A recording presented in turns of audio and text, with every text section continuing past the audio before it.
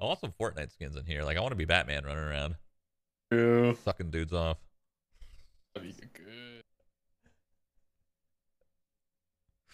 What is wrong with me?